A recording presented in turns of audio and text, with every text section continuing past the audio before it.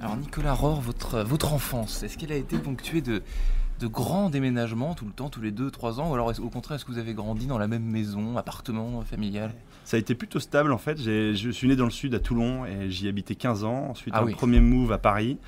Euh, J'y suis resté jusqu'à notre déménagement il y a deux mois euh, à Nantes. Donc j'ai fait un, un aller-retour à Paris.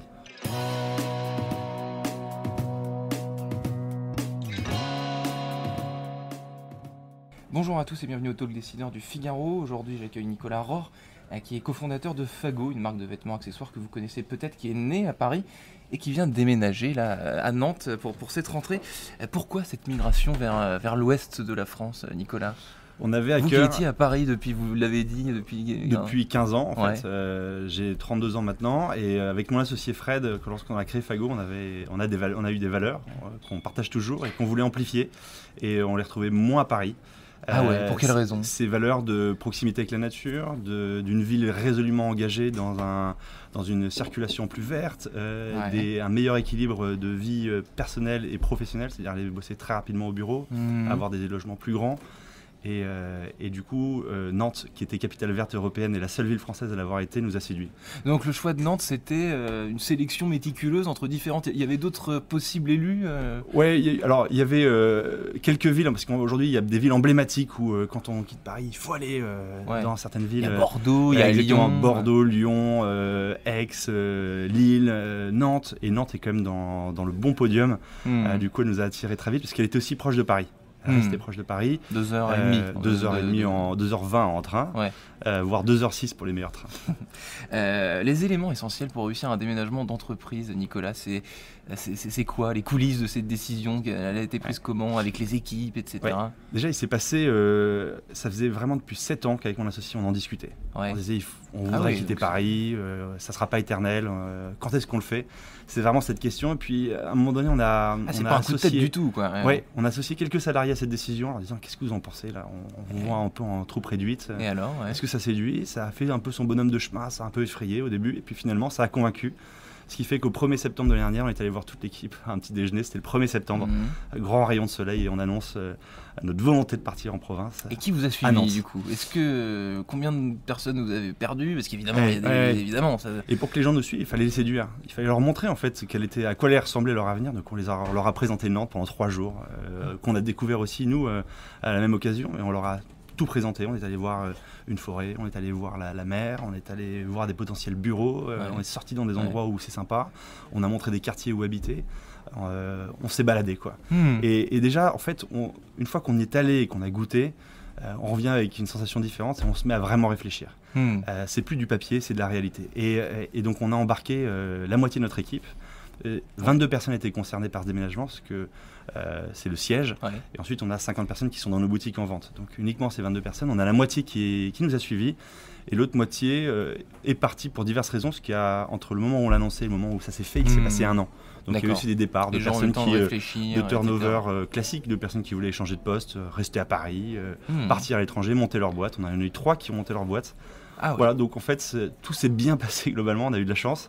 Et, et ceux qui sont aujourd'hui à Nantes sont très heureux. Ok. Alors vos premières impressions, c'est quoi? Est-ce qu'il y a, par rapport à Paris, qu'est- qu'est-ce qui, qu'est-ce qui manque et qu'est-ce qui est en plus du coup? Si on fait une comparaison, maintenant que vous, maintenant que vous respirez vraiment Ouais. l'air nantais, parce que c'est un projet, c'est une Ouais, chose, mais quand exactement. on y vit, c'est autre chose. Quand, quand on y vit, euh, un, on respire. Deux, on se déplace facilement en vélo. on, on est moins sollicité.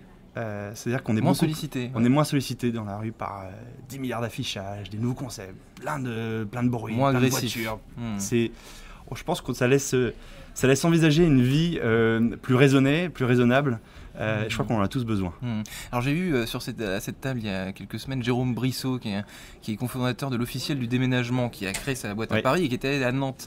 Euh, Est-ce Yes. qu'à Nantes il y a un réseau d'anciens parisiens devenus nantais, d'entrepreneurs ou de chefs d'entreprise? Ça existe ça Ce qui est sûr, c'est qu'il y a beaucoup de gens qui arrivent à Nantes. Ouais. Beaucoup de gens. moi, j'ai lu que c'était la ville numéro 1 où s'installer là en 2019. Mhm. Euh, là, le baromètre est sorti il y a un mois. C'est extraordinaire pour nous parce que du coup, euh, plus on est de fous, plus on rit. Hmm. Cette ville, elle doit grandir, c'est génial avec des énergies nouvelles. Et, et en fait, on dit à Nantes, il y a une, une- une fam- fameuse phrase qui dit On ne n'est pas nantais, on est nantais en y vivant. et ce qui est cool, c'est que c'est une ville qui est accueillante. Oh là là. Et ça, nous, on l'a vu. Non, mais on, le- on le- on le voit au quotidien, c'est quel, agréable. quel enthousiasme. Nous, on le dit, bravo, c'est trop cool d'avoir Fago chez nous, euh, c'est génial, euh, venez nous voir, on a, on a reçu des petits déjeuners, euh, des agences viennent nous rencontrer. C'est Hmm. un contact facile. Hmm. Voilà, et c'est ce qu'on cherchait, de la simplicité, euh, tout en étant, tout en étant conscient que euh, qu'on ne doit pas habiter dans le. Larzac, quoi. C'est pas le Larzac là. Vous avez failli dire en province les gens sont gentils. Attends, attention. Non, mais à Paris aussi, tous les. Mais en fait, se dire que ce décalage entre Paris et Nantes, finalement, il est, il est, Hmm. la vie est, quasiment la même. Ouais. C'est juste qu'elle est, elle est moins fouillie, quoi. Hmm. Alors Fago, c'est une marque plutôt pour les jeunes au début parce qu'il y a 10 ans, ouais, il y a 10 ans, là vous fêtez Ouais. vos 10 ans. Euh, votre envie, je crois que c'était de créer une marque pour les, vos, vos copains, pour les, Ouais. pour les gens comme vous. Maintenant vous vieillissez un peu, 32 ans ça, ça reste, ça reste ça. jeune. Mais comment est-ce que vous faites pour vous adapter, pour rester une marque de jeunes? Euh, Parce qu'avec les réseaux sociaux, avec Instagram, Ouais. il y a tout le temps des nouvelles Bien sûr. tendances qui se ouais, dessinent et vous avez de plus en plus de concurrence pareil. Ouais. Il y a des tas de, de- de jeunes marques qui Ouais. veulent se lancer.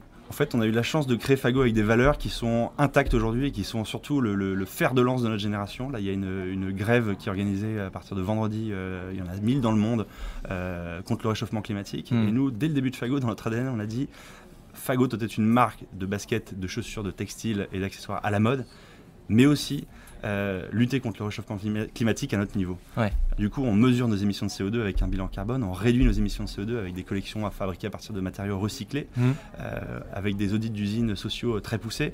Et enfin, on compense les émissions de CO2 avec un arbre qui pousse, qui grandit. Euh, il y en a 1 300 000 aujourd'hui dans quasiment 300 Mhm. forêts en France. Ce, sont, ce sont des symboles, en tout cas c'est un triptyque qui, qui n'a pas bougé et que la jeune génération a repris de, de plus belle. Donc Nous, on était- plus. On était un peu des précurseurs, on avait allumé la flamme et aujourd'hui ils sont en train de souffler sur ce feu qui, euh, qui s'attise. Et là vous êtes à fond Alors dans le feu, il faut d'ailleurs les feux, on n'aime pas trop les feux en moment dans les forêts surtout. On est content que nos arbres continuent de pousser. Euh, ce qui se passe en Amazonie nous attriste tous Hmm. Particulièrement. Et dans la façon dont vous conceptualisez vos produits, dont vous les pensez, euh, en termes d'esthétique, etc., du coup, il n'y a rien qui a changé en 10 ans? Non, quand même, y a en fait, oui, les- les- la, la tendance change. Après, nous, on a, on a cette volonté de- de- de- de- d'essayer d'avoir les produits les plus durables possibles en termes de tendance, parce que c'est important. En termes de tendance et en termes de qualité aussi, j'espère. Ouais, oui, exactement, mais les deux pour essayer de, de déconstruire la surconsommation. Nous, on n'incite pas à dire euh, tous les, toutes les semaines à racheter une paire de fagots, le rose demain sera mort. On essaie d'avoir un maximum de pieds, de chaussures reconduits Ouais. ou de vêtements reconduits pour durer. D'ailleurs, vous savez combien, combien de temps, euh, la, la vie moyenne d'une paire de chaussures Fago, par exemple, c'est combien de temps Ouais. Le- Un client qui achète une paire de, de, de- alors, On chaussures. fait des tests, on fait Ouais. des tests très rigoureux parce que c'est, d'ailleurs c'est passionnant parce que ça s'appelle des tests. Donc il y a des tests chimiques, euh, physiques et mécaniques. Ouais. Et le test euh, physique intervient à la fin quand on a créé un pied en fait avant de le lancer en production. On le met dans un embauchoir et puis là il y a un robot qui marche, qui marche, qui marche, qui marche avec une lumière hyper forte, qui dé- après de l'abrasion, qui torsionne, etc., qui la torture. Et, et du coup on reçoit des tests.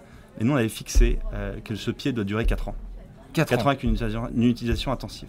Et en fait, euh, c'est notre garantie. Voilà, on fait ces tests-là. Garantie Euh, 4 ans. Ouais, garantie 4 ans. Alors après, il y a des gens qui, qui vont s'amuser à faire des dérapages en skate avec nos chaussures. Bon, évidemment, on garantit pas 4 ans sur, sur du skateboard, mais dans une utilisation Mhm. normale, euh, on garantit 4 ans.